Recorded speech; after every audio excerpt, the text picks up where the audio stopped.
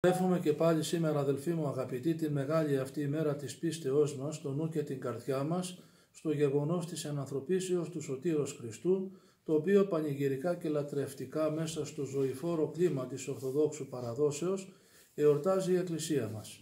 Νιώθουμε μικροί και αδύναμοι να συλλάβουμε σε όλες του τις διαστάσεις το εκπληκτικό αυτό μυστήριο αφού αυτός που γεννάται ως άνθρωπος στη μικρή κόμη της Βιθλεέμ είναι ο δεσπότης της κτίσεως, ο υπεράρχιος Θεός, το δεύτερο πρόσωπο της Αγίας Τριάδος. Δεν υπάρχει μεγαλύτερο θαύμα στην ιστορία του κόσμου, ούτε συγκλονιστικότερο γεγονός από αυτό. Ο Θεός ήρθε στη γη και έγινε άνθρωπος. Το σπήλαιο έγινε ουρανός και η φάτνη χωρίων, ενώ ανεκλήθη ο ακόριτος καθώς ψάλει ο Ιερός Υμνογράφος. Είναι το μόνο αληθινό, κενό και παράδοξο που συνέβη στον κόσμο που ζούμε κάτω από τον ήλιο, καθώς μας παραδίδει η θεολόγος γλώσσα του Αγίου Ιωάννου του Δαμασκηνού, το πάντων κενών κενότατον, το μόνο κενών υπό τον ήλιο. Τίποτα άλλο δεν φανερώνει τόσο εντυπωσιακά τη δύναμη του Θεού, όσο η προς το ταπεινόν και ασθενές της ανθρωπότητος συγκατάβασης θα συμπληρώσει ο φωστήρας της Κεσαρίας Μέγας Βασίλειος ούτε ο ουράνιος τόλος με τον θαυμαστό κόσμο των άστρων που ο Θεός μας έδωσε την δυνατότητα να απολαμβάνουμε, ούτε η υπόλοιπη θαυμαστή δημιουργία, ούτε οτιδήποτε άλλο υπερκόσμιο ή καταχθόνιο φανερώνει τόσο εύγλωτα την παντοδυναμία του Θεού Λόγου. Πρωτοφανές το γεγονός, γιατί υπερανθρώπων άνθρωπος γεγονός, για να χρησιμοποιήσουμε την έκφραση του Αγίου Μαξίμου του Ομολογητού, που θέλει να μας τονίσει την υπερφυσική γέννηση του Σωτήρος Χριστού από την Αϊπάρθενο Μαρία. Έτσι από τη νύχτα που ο περιχαρής άγγελος Κυρίου απευθύνθηκε προς τους απλοϊκούς ποιμένες και τους ανήγγειλε ότι ετέχθη ημίν σήμερο σωτήρ, ως εστίν Χριστός Κύριος, ο άνθρωπος βρήκε την ταυτότητά του και το αληθινό πρόσωπο, τον Θεάνθρωπο Χριστό. Και πρώτον, ο Υιός και Λόγος του Θεού γίνεται Υιός του ανθρώπου με σκοπό, λαμβάνοντας το χειρότερο να μας δώσει το καλύτερο. Λαμβάνει την ανθρώπινη φύση εκτός της αμαρτίας μόνο από αγάπη, η οποία ξεπερνά τη δική μας εμπειρία και με θυσία κατανόητη για τα ανθρώπινα δεδομένα, όχι μόνο για να διδάξει ή να διορθώσει τη ζωή μας, αλλά για να μας επαναφέρει στο πρωτόκτιστο κάλος, να μας ξαναχαρίσει την αξιοπρέπεια με την οποία μας τόλισε ο Δημιουργός να μεταβάλει τον κόσμο της αμαρτίας σε αληθινό παράδεισο και εμάς σε Ιούς του Θεού. Γι' αυτό ο Θεός εφανερώθη εν σαρκή για να μας αναδείξει συμμόρφος της εικόνος αυτού. Γι' αυτό ο Θεός Λόγος κατέβηκε προς εμάς μένοντας ταυτόχρονα στον ουρανό ως Θεός, ώστε εμάς που μένουμε στη γη να μας ανεβάσει στον ουρανό με την αγγελική πολιτεία.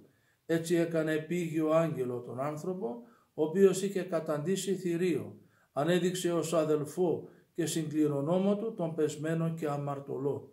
Τον κατέστησε ισότιμο μέλος του Παναγίου Σώματός του, που δεν είναι τίποτα άλλο παρά η Αγία μας Εκκλησία. Του χάρισε το δικαίωμα της κληρονομίας της επουρανίου βασιλείας του. Του έδωσε το δικαίωμα της θεώσεως. Πόσο συγκλονιστικός είναι ο επίσκοπος Αντιοχίας Θεόφιλος στο σημείο αυτό όταν ένας ειδωλολάτρης τον προέτρεψε να του δείξει το Θεό του, απάντησε χαρακτηριστικά «Δείξον ημίν των άνθρωπων σου, καγώς δείξω τον Θεό μου». Αυτή η απάντηση επικυρώνει την αλήθεια πως ο άνθρωπος διαμορφώνεται σύμφωνα με την ζωντανή παρουσία του Θεού στο χώρο της καρδιάς του. Έτσι η αξία του ανεβαίνει ή κατεβαίνει ανάλογα με το αν πιστεύεις σε Αυτόν ή ακόμη αν έχει την δυνατότητα ή την θέληση να προσεγγίσει το Θεό και να γίνει κτήμα του σύμφωνα με την επιθυμία του. Δώσμη η έσυν καρδία. Δεύτερον, η ταυτότητα που μας χάρισε ο Χριστός με την επίγεια παρουσία του φαίνεται συγχρόνως και στη ζωή μας, στη ζωή των χριστιανών. Ο χριστιανός πορεύεται στον παρόντα κόσμο, με κατεύθυνση τον κόσμο του ουρανού. Στρέφεται με νοσταλγία προς τον ερχόμενο κόσμο της Άνω Βασιλείας το πολίτευμά του υπάρχει εν ουρανής. Οι χριστιανοί παρουσιάζονται στις συγγραφές των Αγίων της Εκκλησίας μας ως άνθρωποι άλλου κόσμου, άλλης εποχής, άλλης βιωτής, άλλης καταγωγής. Οι χριστιανοί ανήκουν σε άλλο κόσμο, είναι τέκνα του επουρανίου Αδάμ, καινούριο γέννημα, τέκνα του Αγίου Πνεύματος, φωτεινά αδέλφια του Χριστού, όμοιοι με τον πνευματικό και φωτεινό πατέρα τους τον Αδάμ, πολίτες εκείνης της πόλεως, ανήκουν σε εκείνο το γένος, σε εκείνη την δύναμη, αναφέρει ενδεικτικά όσιος μακάριος ο Αιγύπτιος. Αντιμετωπίζουν δυναμικά τις δυσάρεστες καταστάσεις και κατορθώνουν να τις βλέπουν τελείως διαφορετικά από τους ανθρώπους του κόσμου. Ο συνεπής χριστιανός ο οποίος έχει σαν κέντρο τη ζωής του το πρόσωπο του Χριστού πορεύεται προς την Ανάσταση. Γι' αυτό και βρίσκει την αληθινή ανάπαυση στον συνεχή αγώνα και το σταυρό του Χριστού. Έχει ως πρότυπό του τον ενανθρωπίσαντα Θεό, ο οποίος εταπείνωσε εαυτόν γενόμενος υπήκοος μέχρι θανάτου, θανάτου δε σταυρού. Έτσι δεν στηρίζεται ποτέ στα αγαθά του έργα. Δεν αυτοδικαιώνεται. Δεν θεωρεί τον εαυτό του προοδευμένο, αλλά πάντοτε αισθάνεται την ανάγκη να βάλει αρχή για να φτάσει αμυδρά στην ατέλεστη τελειότητα.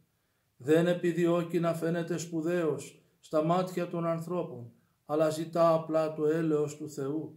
Δεν φανερώνει τον πλούτο των αρετών του για να έχει τον έπαινο των ανθρώπων, αλλά ό,τι του χάρισε ο Θεός γνωρίζει ότι το οφείλει σε Αυτόν, γι' αυτό και το παρουσιάζει μόνο ενώπιόν Του. Τούτο εστί το σημείο του χριστιανισμού, αυτή η ταπείνωσης. Αδελφοί μου, Χριστούγεννα σήμερα.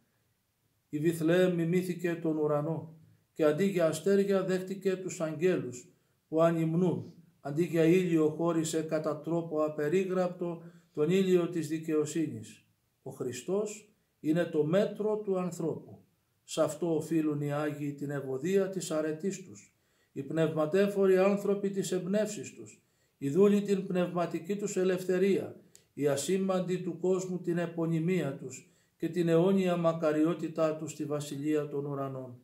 Δεύτε λοιπόν Χριστοφόροι λαοί, προσκυνήσομεν και προσπέσομεν Χριστό, γιατί μόνο εν Χριστό μπορεί να αλλάξει η ζωή μας, η κοινωνία μας και ο κόσμος ολόκληρος.